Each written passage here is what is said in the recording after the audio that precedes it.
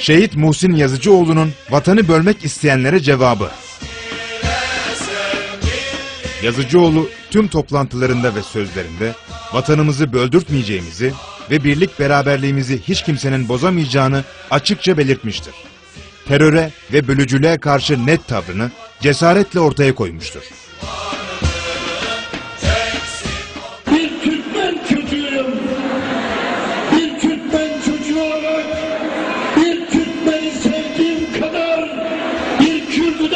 De seviyorum. Elbette ben Kürt'ü kardeşim görüyorum. Ama biz Kürt Türkmen kardeşiz. Düşmanımız, ortak düşmanımız PKK'dır, bölücülüktür, eşkıyalıktır.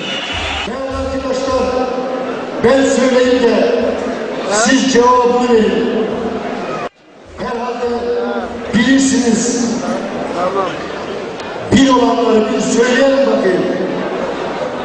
Bu Avrupa duysun, başkaları duysun, Barcelona'sı falanı, hainler hepsini duysun bakayım. Evet, vatan, bayrak, devlet, din, Kıble, secde, kitap, peygamber,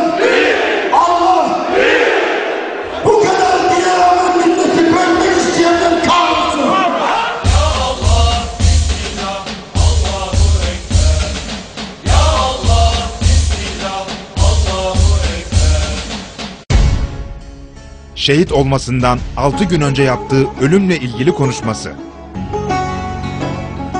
Mübarek şehidimiz Muhsin Yazıcıoğlu vefat etmesinden sadece 6 gün önce 19 Mart günü partisinin Karaman Seçim Bürosu'ndan ölümle ilgili şu sözleri söylemiş, Allah'a olan tevekkülünü ve dünya görüşünü belirtmişti. Şehit oldu bozkurdum var Şimdi bakın yoldan geliyoruz. Şimdi yine yola gideceğiz. Hiçbirimizin garantisi yok. Şurada ayakta duranın da oturanın da garantisi yok. Yani ruh bir saniyeliktir. Küf dedi beni bir soluk tuttu gitti. Bunun da nerede geleceği, nasıl geleceği, ne şekilde yakalayacağı belli değil.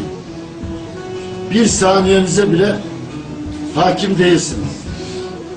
Bir saniyesine bile hakim olamadığınız, hükmedemediğiniz bir hayat için, bir dünya için bu kadar fırıldak olmanın anlamı yoktur. Düz yaşayacağız. Düz duracağız, düz yürüyeceğiz. Dik duracağız, doğru gideceğiz. Bu devran böyle sürmez Muhsinler ölmez ölmez